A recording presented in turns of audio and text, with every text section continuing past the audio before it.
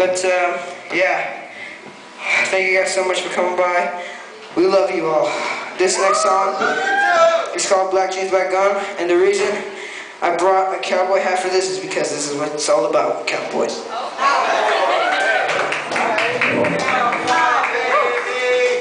Brought a little costume.